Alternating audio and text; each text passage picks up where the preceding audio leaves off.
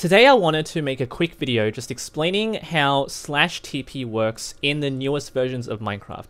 Now I can almost guarantee that this will not change anymore, so you would expect that this new change to slash TP will stick with Minecraft forever. But I feel it's really important for me to convey how this works now because a lot of people will be confused when they try to use this command. This is a command that a lot of people use. So what I'm going to talk to you guys about is essentially how to teleport these horses up. What you would ordinarily do in the older versions of Minecraft is simply use this command here. So slash tp at e type horse tilde tilde 5 tilde. That would TP all the horses 5 blocks up.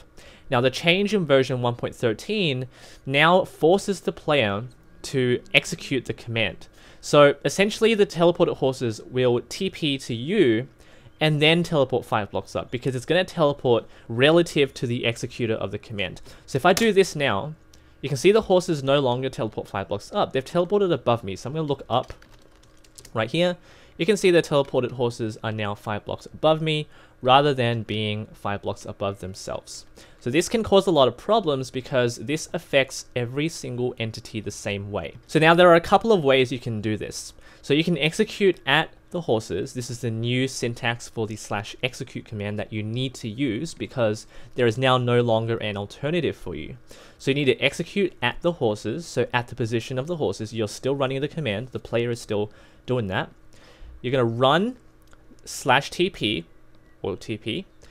The horses limit to one. So what this means is it's going to teleport a horse at the position of the horse, but only one of them.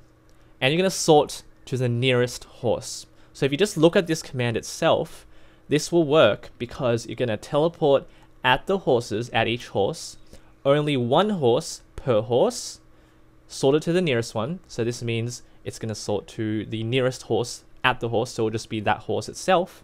And you're going to teleport five blocks up. And it works. Now there is another way you can do this. You don't have to use the limit uh, selector or specifier, you can use the distance specifier. So it's going to select a horse that is closest to it. So it's going to teleport a horse that is the closest horse to that horse, which is each horse individually. So now you can see that also works. So there are a couple of ways you can achieve this. If you're going to use the limit specifier, you have to use sort because uh, it doesn't work uh, because it doesn't sort to the nearest one by default.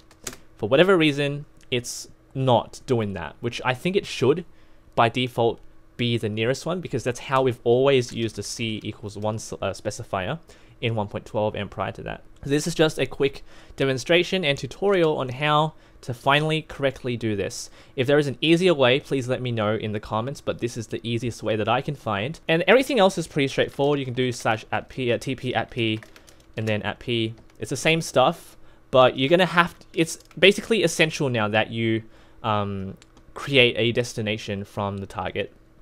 And otherwise, I don't see any other way to do that. Unknown command. So otherwise, hope you guys found this uh, useful in some ways. This is kind of important now, and I just hope that the people who are struggling to use this new command uh, from servers or anything will find this video and uh, figure out how to solve that problem. Thank you all for watching. Take care.